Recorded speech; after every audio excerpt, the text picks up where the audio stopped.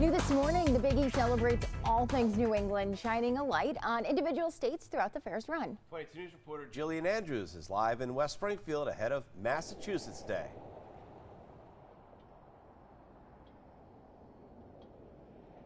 Good morning, Rich and Taylor. That's right. Today at the Big E will be all things Massachusetts, and to help celebrate, some special some special guests will be heading this way from Boston.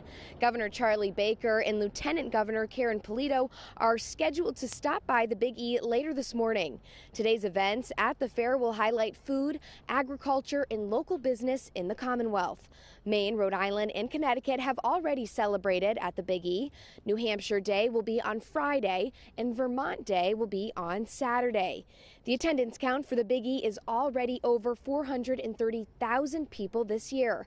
After stopping at the fairgrounds, the governor is scheduled to stop by Springfield and also head up to Amherst. Working for you in West Springfield this morning, Jillian Andrews, 22 News.